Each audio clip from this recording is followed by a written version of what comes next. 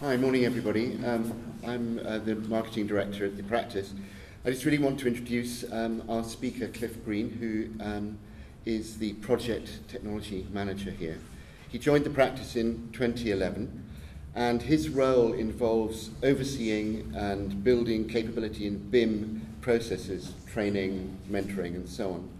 Cliff is a qualified architect and has nearly a decade of experience in procuring projects using BIM, Bentley architecture, formulating BIM and project technology stra strategy, developing and delivering BIM training for architects.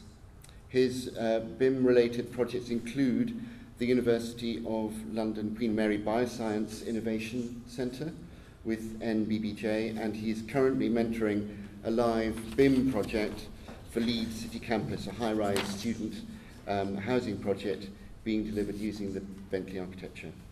Cliff will be talking this morning about the design archive for the hugely complex King's Cross Station project, now completed. And with that, I'll pass over to Cliff Green.